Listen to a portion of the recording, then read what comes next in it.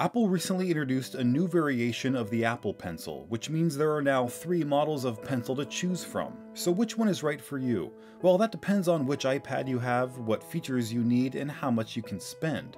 To find out which iPad model you have, go to Settings, General, About, and check under Model Name. Then see if you can find that name in each of these lists. That's how you'll know which pencils are compatible.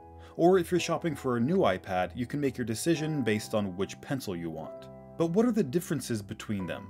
Well, the first thing you should consider is the price. The most affordable is the Apple Pencil USB-C at $79, then the first generation model at 99, and finally the second generation model at 129. The USB-C pencil allows you to write, sketch, and draw with pixel-perfect precision, has very low latency to make the writing experience feel as natural as possible, and features tilt sensitivity for shading and other effects useful when sketching and drawing. It also supports hover on iPad OS that gives you a preview of a mark before making it.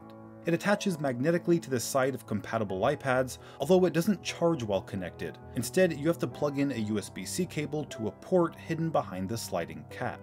The mid-tier first generation Apple Pencil has the same writing precision, low latency, and tilt sensitivity, but adds support for pressure sensitivity, which allows you to make a thicker line while drawing with pressure and a thinner line with less pressure but it does not attach to an iPad magnetically, nor does it have a charging port.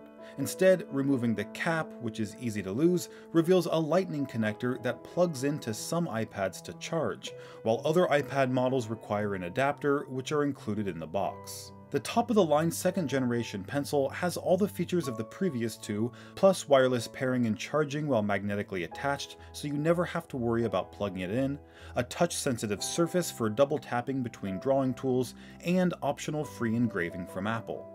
So based on those available features at their various prices, you can determine which model of Apple Pencil would best suit your needs.